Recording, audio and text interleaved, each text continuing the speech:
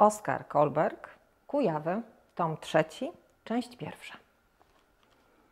Kujawiak jest po większej części urodziwy, wzrostu średniego, przysadkowego, silnej giętki, rysów wyrazistych, malujących uczucie godności osobistej i spryt tryskający przy sposobności.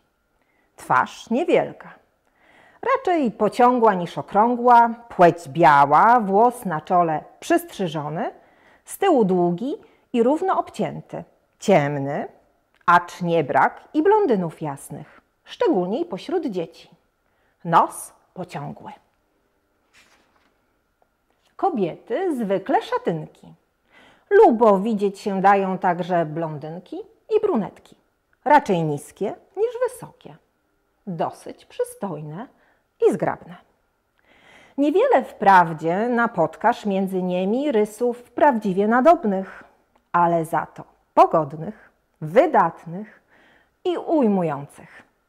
Odznaczają się przytem zdrowiem, kwitnącą cerą i dowcipem oraz wesołością, które dodają im wiele powabu. Najlepsze życzenia z okazji Ogólnopolskiego Dnia Etnologii, Etnografii i Antropologii Kulturowej. Czytała Justyna Słomska-Nowak, Muzeum Etnograficzne w Toruniu.